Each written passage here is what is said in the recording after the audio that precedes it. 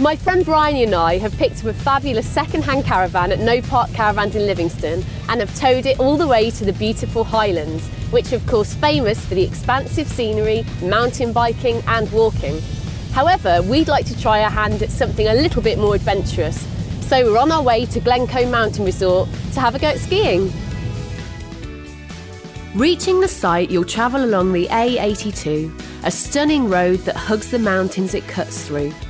We passed through the wilds of Rannoch Moor, some 305 metres above sea level, and as we approached, watched the views unfold.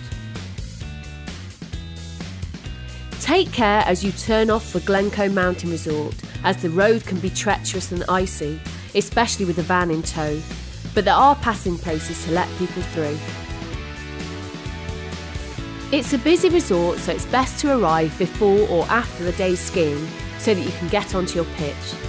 Once settled, you'll find your water and electric to the rear of the pitch, and plenty of other facilities, including hot showers at the cost of £1, a drying room in which to hang your kit, a place to wash up, and a lively cafe bar with fresh cakes, a pool table, and at its heart, a toasty wood burning stove.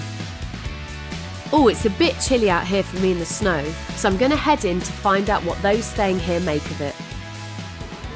I like what I like about Glencoe is it's a really friendly resort and it's got all the facilities that I'm looking for. I plan to bring my children to introduce them to snow sports and they're only 10 and 12 so I needed somewhere where they had a shower, they had a dry room to dry all our kit off because the next day they'd be miserable if they then went out back out in wet gear and also I wanted a mains hook up so I've got heating in the van and the cafe area is great. What I love about snow sports is A, it's healthy, you know, you're exercising all day long and the endorphins that you get from in my for me it's snowboarding is what I do. From a day out snowboarding the endorphins that you get released in your body at the end of the day you feel great. And everyone's really friendly.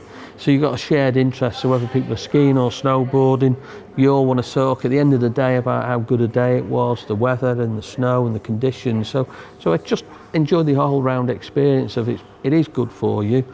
It's adventurous. There is a, a bit of a thrill um, and the fact at the end of the day everyone's sociable and wants to share in your your mini adventure you've had that day. The main advantage of being pitched up here is that you're right at the heart of some stunning scenery. However, you're very exposed to the elements too. So if you're looking to head up onto the slopes, you need to keep a keen eye on the weather and also on Glencoe Mountain Resorts websites, which will give you regular updates. With that in mind, it's always worth having a plan B.